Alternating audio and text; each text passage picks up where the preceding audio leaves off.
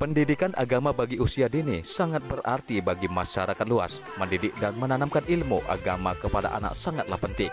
Guna menjadikan anak berakhlak yang mulia, terkhususnya pendidikan agama Islam.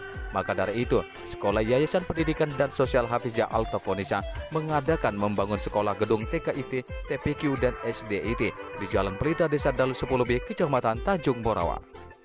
Untuk itu hadirnya Wakil Bupati Deli Serdang, Haji Muhammad Ali Yusuf Siregar, membuka Festival Anak Saleh 2022, sekaligus meresmikan gedung sekolah baru Yayasan Pendidikan dan Sosial Hafizah Altafonisa. Dalam sambutan pendiri Yayasan Pendidikan dan Sosial Hafizah Altafonisa, Ustadz Muhammad Kurnia Sitorus, menyampaikan sekolah atau lembaga pendidikan dan sosial ini sudah berdiri dan beroperasi selama satu tahun secara legalitas dan akta. Kendati dengan kondisi apa adanya, namun semangat untuk memberikan pendidikan kepada warga sekitar, khususnya anak-anak tetap bergelora.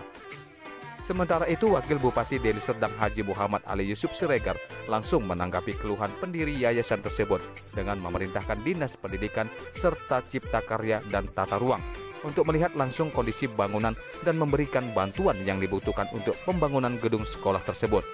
Semoga ke depannya menjadi bangunan representatif untuk anak-anak di Dalus 10B, khususnya serta umumnya di Tanjung Morawa.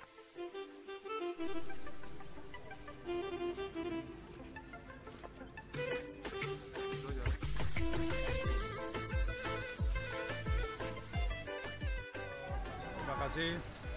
Saya atas nama pemerintah Kabupaten Sedang mengucapkan uh, selamat kepada Yayasan uh, Hafijah Al-Fatun Tunisa yang berada di Desa Dalu 10B, Kecamatan Tanjung Merawa yang pada hari ini telah uh, meresmikan bangunan untuk sekolah anak-anak kita.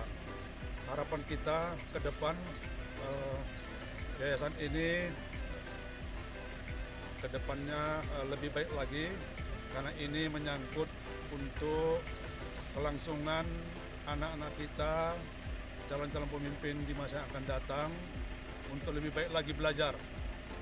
Jadi kami sekali lagi mengucapkan terima kasih kepada Pak Ustadz Sitorus yang sudah berinisiatif untuk membangun uh, yayasan sekolah ini dan harapan kita uh, mudah-mudahan warga masyarakat di sekitar uh, desa ini bisa menyekolahkan anaknya untuk ke depan yang lebih baik. Terima kasih.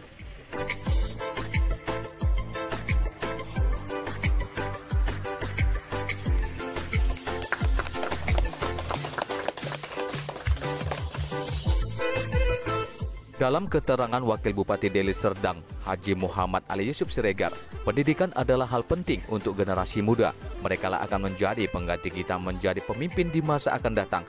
Para siswa di sekolah itu merupakan generasi penerus bangsa dan agama. Hadirnya Haji Muhammad Ali Yusuf Siregar dalam rangka peresmian gedung sekolah Yayasan Pendidikan tersebut didampingi Kepala Dinas Cipta Karya Rahmat Syah, mewakili Kepala Dinas Pendidikan Samsuar Sinaga, Marianto Irawadi, Camat Kecamatan Tanjung Barawa, Ketua MUI Deli Serdang, Kiai Amir Manatagama, dan Wantoro Kepala Desa Dalu 10B. Peresmian ini sekaligus penyerahan hadiah lomba Festival Anak Soleh dan menyantuni anak yatim dalam tema membangun generasi milenial yang Qurani. Dari Tanjung Merawa, tim liputan TV Nyaburu Ahmad Jais memberitakan.